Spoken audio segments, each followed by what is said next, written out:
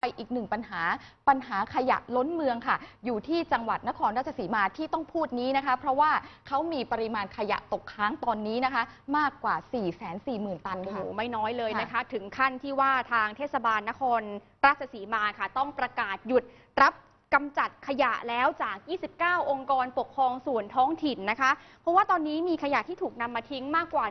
160 ตันค่ะต่อวันทำให้ที่ประชุมวันนี้ต้องเรียกประชุมด่วนแล้วก็หาทางออกร่วมกัน รองผู้ว่าราชการจังหวัดนครราชสีมาคุณธนพล จันทรนิมินะคะ บอกว่าเรียกประชุมผู้อำนวยการผู้บริหารองค์กรปกครองส่วนท้องถิ่น 29 แห่งที่นำขยะ ไปกำจัดที่ศูนย์ขยะมูลฝอยที่ 3 เทศบาล นคร นครราชสีมา เพื่อหารือถึงแนวทางแก้ไข ปัญหาการจัดการขยะมูลฝอยของอปทที่ได้รับผลกระทบ จากเทศบาลนครราชสีมา จะขอหยุดรับกำจัดขยะตั้งแต่วันที่ 1 มิถุนายนนี้เป็นต้นไป เนื่องจากมีปริมาณขยะตกค้างกว่า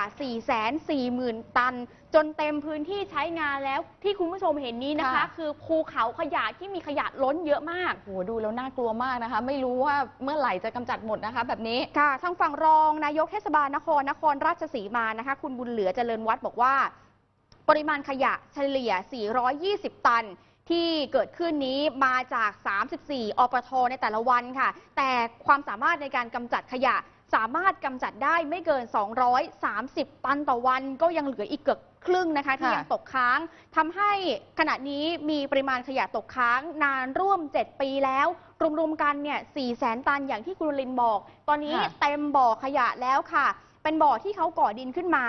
สูงกว่าพื้นที่ร่วม 10 เมตรทำให้ตอนนี้มีผลกระทบต่อชาวบ้านที่อยู่ในละแวกใกล้เคียงนะคะ รัศมี 2 กิโลเมตร ตรงนี้เลยขอปิดศูนย์กำจัดขยะเพื่อรอปรับปรุงฟื้นฟูบ่อก่อน รวมถึงรอให้ทางกองทัพบบก อนุมัติให้ใช้พื้นที่ 50 ไร่ใช้ในการก่อสร้างบ่อฝังกลบขยะด้วย แน่นอนนะคะ ว่าการประชุมเพื่อหาทางออกนี่ก็ต้องเคร่งเครียดแล้วค่ะ เพราะว่า4อปทที่มีระบบกำจัดขยะด้วยวิธีกลชีวภาพ ปฏิเสธที่จะรับขยะเพิ่มเติม เขาก็อ้างว่าระบบไม่ได้ออกแบบให้กำจัดขยะเกินปริมาณที่กำหนดไว้ แล้วก็เกรงว่าชาวบ้านที่อยู่ในเส้นทางขนขยะจะได้รับผลกระทบด้านสิ่งแวดล้อม นอกจากนี้นะคะบ่อขยะของเทศบาล จอหออำเภอเมือง ซึ่งเป็นพื้นที่รองรับเพิ่มเติม ก็ยังอยู่ระหว่างการปิดปรับปรุงอีก ก็ต้องจัดสรรใหม่ค่ะ เพื่อให้ปริมาณขยะที่เกิดขึ้นทั้ง 29 อปท เฉลี่ยแล้ว 160 ตันต่อวัน สามารถที่จะกำจัดได้ถูกหลักวิชาการด้วยค่ะ